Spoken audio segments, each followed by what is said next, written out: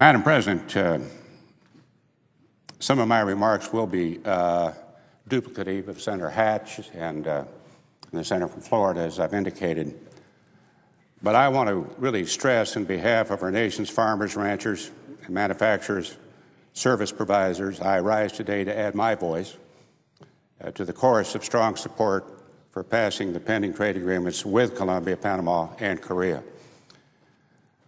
Now, to be candid with you, and I'm not trying to be a bad news bearer here, but uh, I wasn't at all convinced this day would ever come.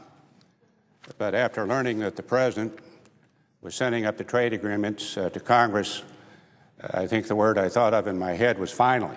Maybe five finallys. Finally, finally, finally, finally, finally. Because it's been five years, five years that uh, the U.S. trade agenda has been put on hold. And quite frankly, I think hostage to demands by certain environmental groups, uh, labor, uh, a rewrite of the trade assistance. But yesterday, under the uh, perseverance of the chairman, uh, Senator Baucus, and others on the committee, finally, the Senate Finance Committee uh, did pass the uh, trade agreements. We had a markup. It was amidst protesters. it was quite a not a unique situation, but one that the chairman handled very deftly. I would call to the attention of members in regards to their interest in the trade agreements if they have any possible uh, concerns. Uh, read the remarks by uh, Senator Hatch and by the chairman, by Senator Crapo, Senator Wyden, and Senator Kerry, uh, more especially Senator Wyden, who got a little static uh, from the audience uh, undeservedly. The good news the pending trade agreements uh, add up to $13 billion in additional exports, the estimated 250,000 jobs. That's estimated by the American Chamber of Commerce. Just a few big picture highlights right now Korea imposes an average um, a 54% tariff for agriculture products. Within three years after implementation, 95% of these tariffs drop off, with the most zeroing out after a decade for beef producers, and that's a big thing for Kansas. That means the 40% tariff on beef products will be phased out over 15 years. Around 75% of the ag and non ag exports entering Colombia will be duty free upon the implementation of the agreement. Duties on many other tariff lines will be phased out over a 5 to 10 year period. Panama, while reducing import duties is important, the expansion of the Panama Canal is not only an important project for U.S. bidders, it is a geographical key for international commerce, transportation, and security, security for the region. But just from the agriculture perspective, just for the Aggies, the three pending trade agreements represent a 2.5 billion upon full implementation in regards to exports more than 22,000 jobs. The Kansas Farm Bureau estimates that the three agreements in total are expected to increase direct exports by $130 million for Kansas ag producers and an additional 1,150 jobs. Finally, these trade agreements will help put American workers and exporters on a level playing field with our competitors and hopefully, hopefully, hopefully, tough job, regain lost market share. Now, let me emphasize really emphasize in the case of two of these agreements, Panama and Colombia, under normal condition, their exports already have duty free access to the U.S. market. The pending agreements merely create a two way trade and allow U.S. exporters the same treatment which we already grant their countries. It makes one wonder what all the fuss was about. And the fuss, the five year fuss and delay, hurt us, not them. And that's the, uh, that's the point that I think everybody should finally discern. But five years, uh, three years under this administration, uh, the goalposts continued to shift and action was delayed indefinitely. Two years under the previous, under the previous administration, basically with objections by the House of Representatives. As a consequence, U.S. producers and exporters lost market share to our competitors. Let me give you an example. Over the past two years, U.S. wheat producers have already lost market share to Argentina, which receives preferential trade uh, treatment based on a regional trade agreement. Just two years, the U.S. share of the Colombian uh, wheat market dropped by 30 percent, including corn and soybeans. The lost market share jumps to 57 percent. In addition, the largest food processor in Colombia, Nutresa, announced shortly after the Canada uh, trade agreement went into effect that they were sourcing all of their wheat purchases from Canada, accounting for half of all of the wheat imports. Previously, U.S. wheat growers were the largest uh, suppliers of wheat in Colombia. In July, the uh, Korea European Union trade agreement, not U.S. agreement, European Union agreement went into effect.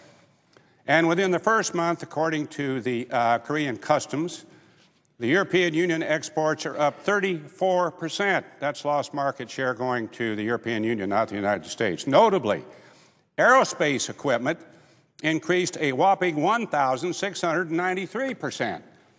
You can see where that is going. Kansas is a major player in the aviation sector. We export 2.7 billion in transportation equipment last year, but with the European Union agreement, why you can see what happens with lost market share. Finally, with regard uh, uh,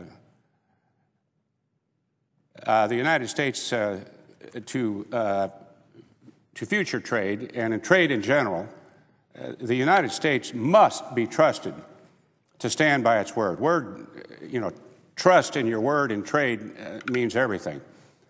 The dithering on these trade agreements has not been lost on our trade partners or the world at large. It's just not economic growth and job creation we gambled with here all the back and forth and increased demands on our part calls into question our integrity. Is the United States a dependable partner and ally?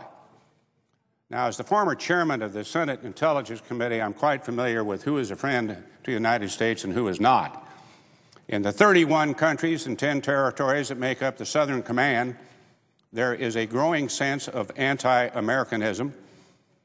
Venezuela's President Hugo Chavez is a perfect example. A decade ago, why Colombia was essentially a failed state, suffering from a war waged between the guerrilla groups and the paramilitary groups, the FARC and the ELN. Much has changed. Much, much has changed over 10 years under the leadership of then President Uribe and continued by President Santos. An amazing job. U.S. support during this time has helped to establish a strong relationship and form a key ally in an increasingly hostile area. So strengthening our economic relationship just makes sense. Uh, the unjustified delay on our part is not only embarrassing, it has potentially damaged our credibility, in my view. As Kansans and the rest of our nation continue this slow and bumpy climb out of these tough economic times, we must do all that we can to foster economic growth. Opening foreign markets to U.S. goods, services, and agriculture is an obvious and long overdue part of the solution. But we can't stop with passing these three trade agreements, pat ourselves on the back, and call it a day.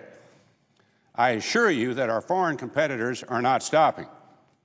In fact, Madam Chairman, it's been reported that there are approximately 100 trade agreements being negotiated right now, give or take, that do not include the United States. 100. We, the United States, we're negotiating one initiated in the waning days of the Bush administration the Trans Pacific Partnership, or TPP. The TPP provides critical access to the ever growing Asia Pacific region and has the potential to include other countries later in the future. While negotiations continue, there will soon come to a point when talks will stall because the U.S. negotiators' hands are tied without the protection of Trade Promotion Authority, or fast track as some uh, refer to it. Without TPA, why negotiating countries will have little reason to negotiate, much less make any difficult uh, concessions, until they know that the U.S. is serious. Fast track provides the substance to these talks. So, why is TPA not a priority? Uh, I am concerned that as the administration quietly defers on seeking trade uh, promotion authority why negotiators will be unable to negotiate and trade will take a backseat once again. The signal may well be, and I hope this is not true, uh, that these trade agreements will be the last under the current administration. Now, let me get off the bad news bear stuff and the stubborn facts, and facts are stubborn things, and the five year delay. Let me give credit to the President for finally, yes, finally, sending these trade agreements to Congress, but let's not become pacified in the long overdue action. In order to stay competitive with our foreign partners, we need to stay in the game. And Madam President, I yield back